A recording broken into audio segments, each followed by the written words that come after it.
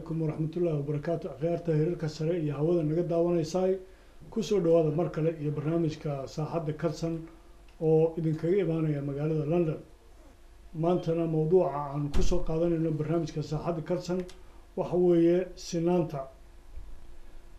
Wax kasta oo bulshooyinka caalamku ay isugu yeeraan marna sinaan dhexdooda kama jirto dadka oo dhan way siman yihiin baad maqlaysaa marmar iyo meelo badan dhabse ma tahay.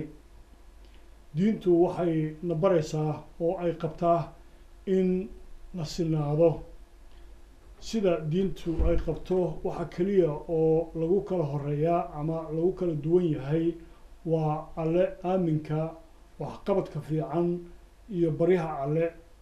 Diinta islaamku waxay qabtaa oo ay waajibisay in sanadkiiba mar aada hantidaada sako ka bixiso taas oo macnaheedu u yahay in lacagta aada haysato ee laga yaabo inay bangiga kugu jirto aadan keligaa wada lahayn oo qaarkeed ay masaakiintu leeyihiin si sinaan loo helo.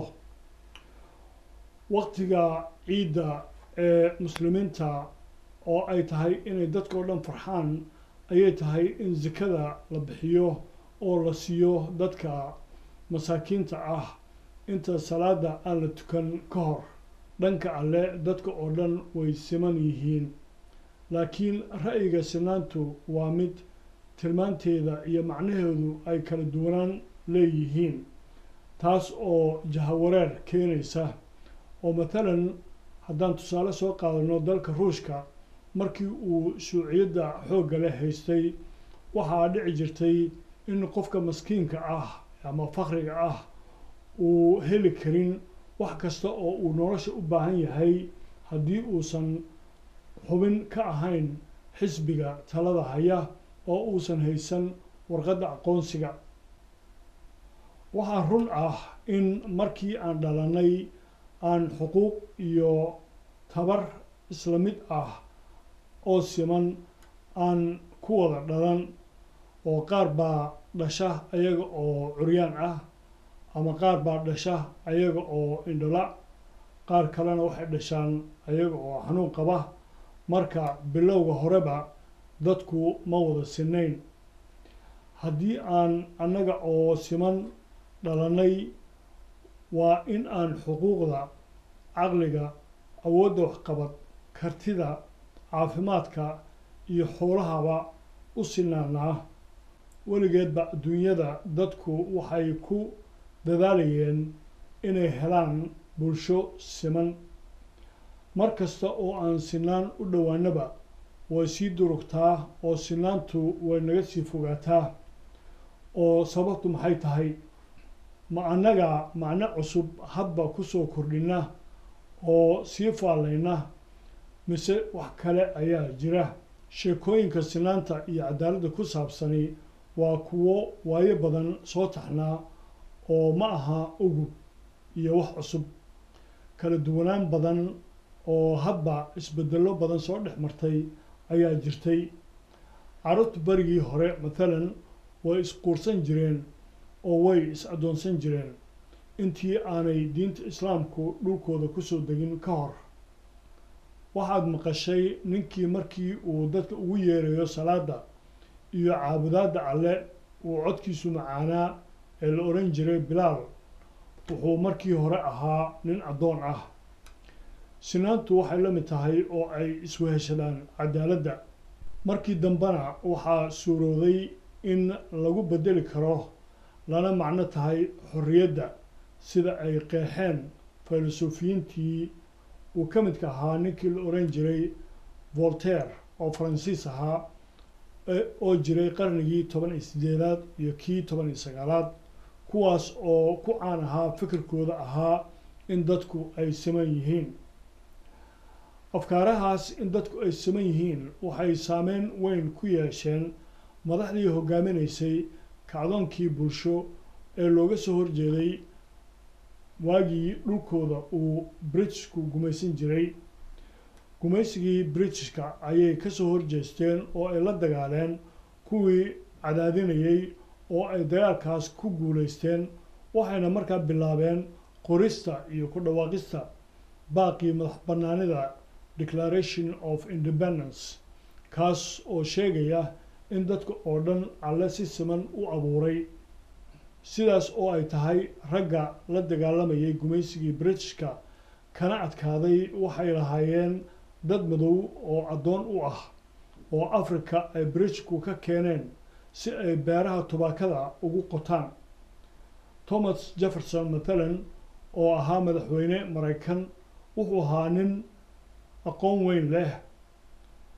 Wuxuu ahaa nin yaqaana sida loo xardho dhismayaasha wuxuuna ahaa ninkii aasaasay jaamacadda virginia. Waxa uu lahaa dad addoon ah oo uu ku shaqaysto waxay qaadatay sagaashan sano in baaqii ku dhawaaqista xorriyadda uu meel maro.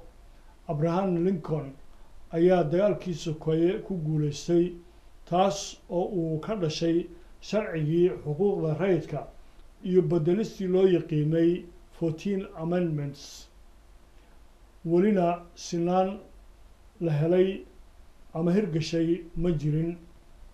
Ma ahayn tan iyo markii la soo gaaray hadalkii uu jeediyey halyeygii madoobaa ee martin king oo loo yaqiinay ee u dagaalamayay xuquuqda rayidka oo uu jeediyey hadalkii lagu magacaabay ama la baxay waan riyooday kaas oo gees iyo gees la wada maqlay. Wuxuu hadalkiisaas uga hadlay sinaan la'aanta ku salaysan midabka diinta dhalashada iyo lab iyo dhidig tay tahayba.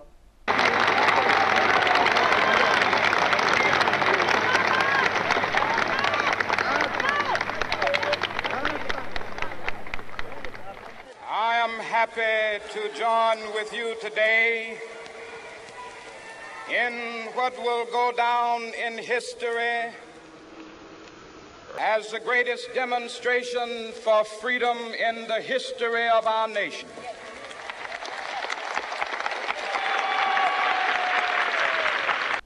martin luther king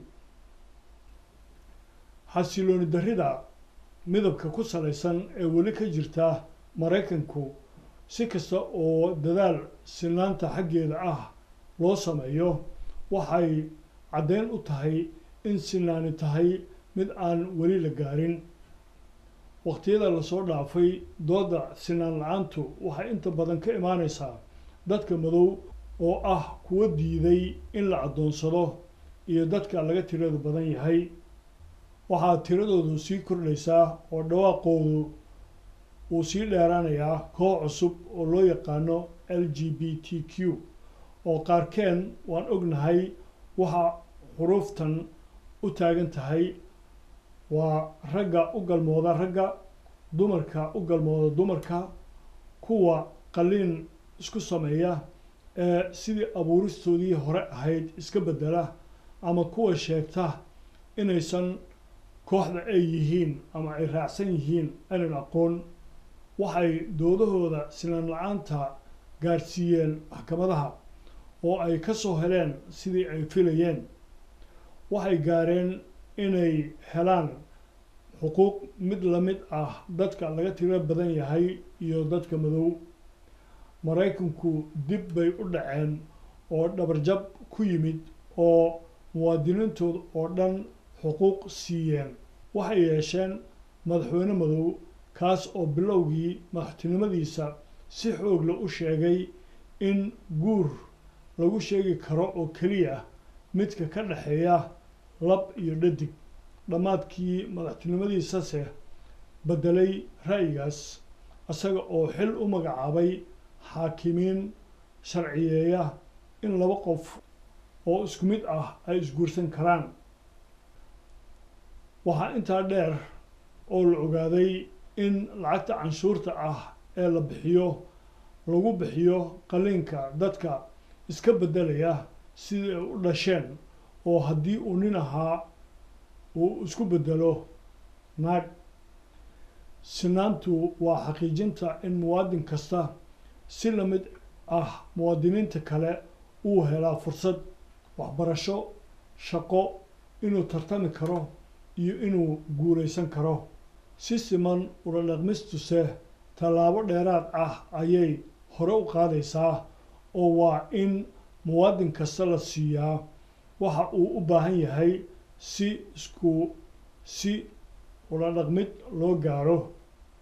Isku si ula dhaqmiddu waxay guulaysan lahayd oo keliya in wiilashu ay tartanka wiilasha oo keliya ka qayb galaan. Laakiin haddii mid wiilasha ka mid ahi dareensan yahay in uu gabarnimo dareemayo oo misena uu rabo inuu tartankii gabdhaha galo. Waxay keenaysaa wiilnimadu inay tahay awood ka duwan midda gabadha leedahay. In qof kasta si siman loola dhaqmaa mid sinaan keenaysa ma tahay. Akhyaarta hawada sare iyo hirarka naga daawanaysaa barnaamijkii calson t v ee markan ku saabsanaa sinaanta intaas haynoo joogo inta aan dib u kulmi doono alla idinkii barnaamijyo kale inta ka horeysa nabadgelyo fi amaanillah